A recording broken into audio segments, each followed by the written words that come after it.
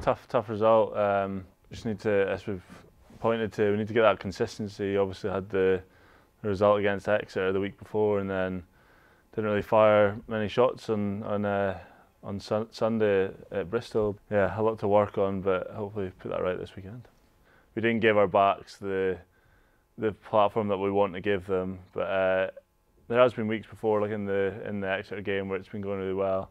Um, so yeah, it's, it has on a whole it has been going pretty well, but it's the same as the whole team performance, getting the consistency every week, especially in the forwards.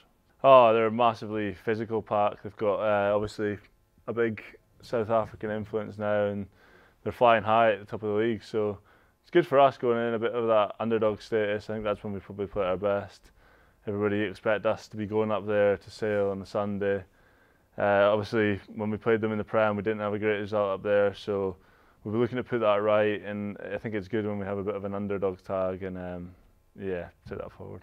Obviously, it's a final, so we're taking it taking it se- very seriously, and um, you know, but I think that's I personally quite like playing when people are kind of writing about you and not giving you much of a chance, and there's not as much pressure. So uh, I'd say more pressure on them, and we'll crack on and get into it. One of the reasons I moved to Quins was uh, obviously Guzzy showed us his ambition. He wants to win trophies in that, and I think obviously my first year here, room with a chance of winning a tro- uh, winning some silverware, it's it's massively motivating. Yeah, can't wait for it.